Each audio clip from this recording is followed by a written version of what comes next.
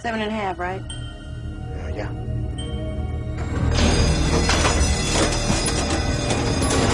Thank you. Welcome to the seven and a half floor of the Mertin Flemmer Building. My name is Craig Schwartz, and I have an interview with Dr. Lester. Please have a seat, Mr. Juarez. My name is Schwartz. My name is Schwartz. Which of these two letters comes first, this one or this one? The symbol on the left is not a letter, sir. Damn, you're good. Do you know that I don't even know your name or where you work? And 50 other lines to get into a girl's hands. So, honey, you thought any more about us having a baby? I think that maybe we should just wait and see if this job thing pays off. There's a tiny door in my office, Maxine, and it takes you inside John Malkovich.